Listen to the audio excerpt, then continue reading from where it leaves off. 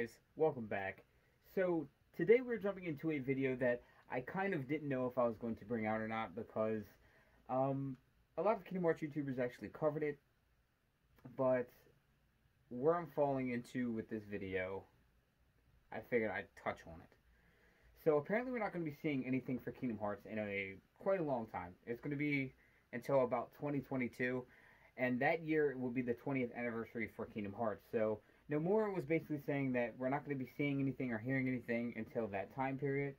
Um, I'm thinking maybe we will get an announcement to maybe the in between game because technically, uh, Melody of Memory is not the in between game to Kingdom Hearts 3 and 4. There's actually supposed to be another title in there that we will be getting. Um, maybe we might get an announcement to Kingdom Hearts 4 because they like to announce Kingdom Hearts games and bring it out 10 years later. Um, but we might, you know, see something like that. But where this video is going, like, right now is last night me and Shayna were watching um, Mulan. So she, she we went out and she got me Mulan on uh, this is like the Target. I buy all the Target exclusive uh, Disney movies because they come with like um they actually come with like an art book in here. So I like to grab all of them at Target because plus it's really cool. Like I like I like how to have them at Target. But um, we are watching it and I was like, man, I really like this movie because it's kind of funny because I'm not a really big uh huge like like a huge Mulan fan. Like I do like Mulan. I did like the movie when it came out, like on you know a cartoon but I I didn't watch it multiple times or anything like that. It was just one of them Disney movies I could watch it one time and really like it, but I just didn't never went back to. I would watch this live action one multiple times. It's actually pretty good. It's really pretty good. Um, so I was thinking about how uh, actually me and Shay were talking about it.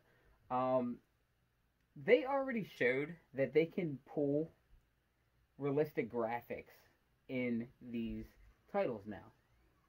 So, I just got a Kingdom Hearts Melody Memory update. They're updating the game? Yes. Okay. Maybe they can fix the timing on my shit, because that shit is definitely janky. Um, sorry. But, we, we could see, like, we've seen in Kingdom Hearts 3 that they literally can make a realistic game. Like we we went to Pirates of the Caribbean and oh my god, the graphics were ridiculous. I was like, holy shit, why isn't the rest of the game just look like this? And I I thought like, okay, well they got to keep it up with the Pixar look. And then when they went to that world, of course, you know they can just make it realistic looking because it's a it's a you know a live action movie. So, what if, okay, just just for shits and giggles here what if in Kingdom Hearts 4, because I, I really feel like a lot of people thought that Kingdom Hearts 4 would be all just Final Fantasy, because we got no Final Fantasy basically in 3, except for like Re Mind, and that technically really didn't count, but it kind of counted. It's kind of weird. Um, so, what if we, because I, I can't see them not bringing us to Disney Worlds, because it's it's Kingdom Hearts. Like it, it's just as much as Disney as it is Final Fantasy. Um, what if we go back to worlds that we've been to? Say, I don't know, Beauty and the Beast, um, Mulan. Mulan's one. Um, by the time that the game releases, I'm pretty sure that um, we'll see a Little Mermaid remake somewhere down the line. Um, although I heard some things about that might not be happening right now. I don't know what's going on with that. Um, but you got Little Mermaid, Lion King. We've been to Lion King before. Um, just a bunch of these ones that we've already had remastered in live action form, like you know Mulan and Beauty and the Beast, and they're all worlds that we've been to. So what if, just what if, what if we go back to these worlds in Kingdom Hearts 4, but they're all in this form? I think that that would be cool as shit. I actually think that it'll show how graphically they can make this game. Of course, now we're on like next gen systems. Of course, I'm still on my my Kingdom Hearts 3 PlayStation 4 because PlayStation 5s are like, you know, like the gold of the earth right now. Um, but by the time that we all, by the time Kingdom Hearts 4 comes out, we're all gonna have a, P, uh, a PS6 probably. But what I'm saying is, we're all like into this next generation of games, so they could do much, much more than they could do with the PS4. And then load times are way better. It, it's crazy.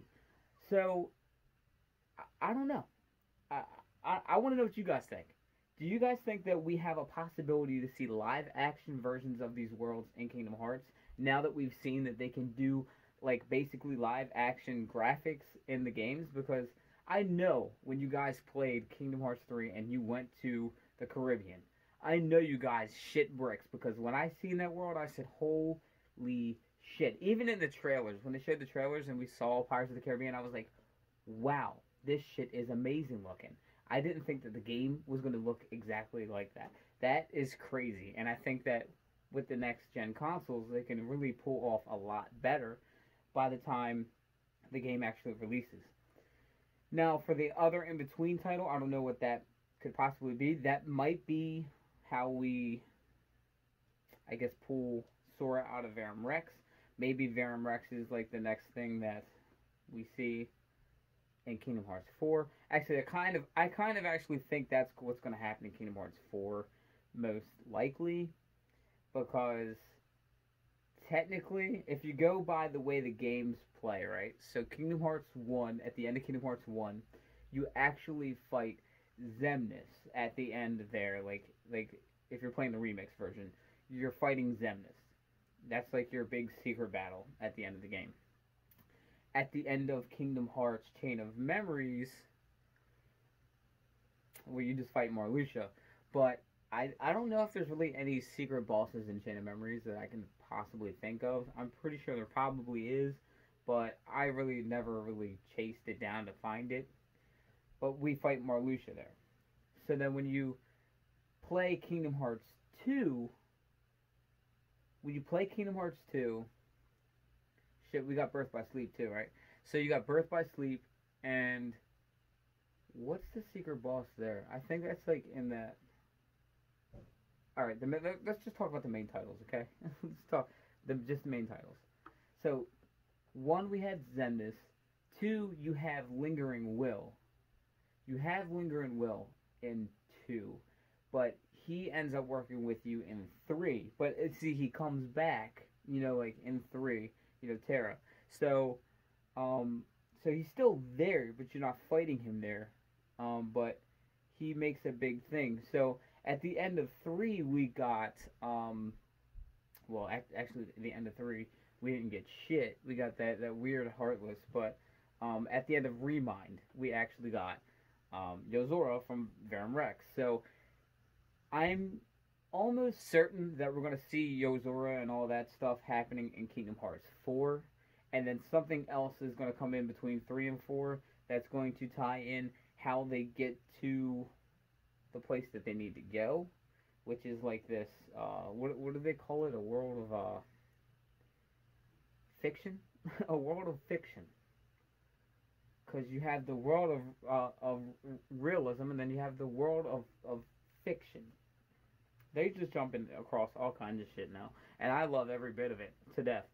Um, but yeah, I wonder what you guys think in the comments down below. Do you guys think that we are going to actually see live action versions of the worlds we've already been to because I think that would be actually a smart thing for them to do because they could show how well they can do this, you know, series graphically. And I would just test that if I was them. I, I would honestly just test it out if I was Square. I'd be like, you know what? Let's go ahead and just take the stuff and just make make you know all the live action stuff and see where it goes with that. So I hate you sometimes. Like, Shay literally just opens the door and just stares at you when you're making a video. And she can hear me making the video, but she just knows that she has to creep in here and just corrupt everything. Isn't that how it is? How it is? I love you. Yeah, I love you too. Get out. Okay, so. I just wanted Harley to be in the video. Oh no, you don't need Harley in this video. Harley can stay out there because she is corruption too. So just tell me in the comments down below what you guys think. Um, thank you guys for watching. Remember to leave this video a huge like, subscribe if you haven't already. If you want to join the Wayfinders Union Cross groups, you can hit us up in the Discord link down below to the Wayfinders Discord. And once you're in there, we can set you up one of our groups. And if you don't play Unicross or anything like that, that's fine. You can still join, make friends, and talk about Final Fantasy and Kingdom Hearts down there. Um, also, if you want to follow me on Instagram or Twitter, um, I prefer Instagram more because that's what I'm mainly on. I'm barely on Twitter. Uh, but if you do want to look me up, just look me up, Void Gear Vanitas, and I should pop up. Um, I do a lot of different things on Instagram. Like sometimes I'll ask questions to you guys just to see what you guys think about a certain topic and if I should make videos on it. And a lot of times, you know, I also put up like, hey, should I pull for this in Unicross? Um, and if you guys say yes or no, that kind of, you know, determines if I'm making a video for you guys or not on that specific banner or whatever. So just keep that in mind if, you know, that's your thing. But yeah. So thank you guys for watching and let your hearts be your guiding keys. Bye.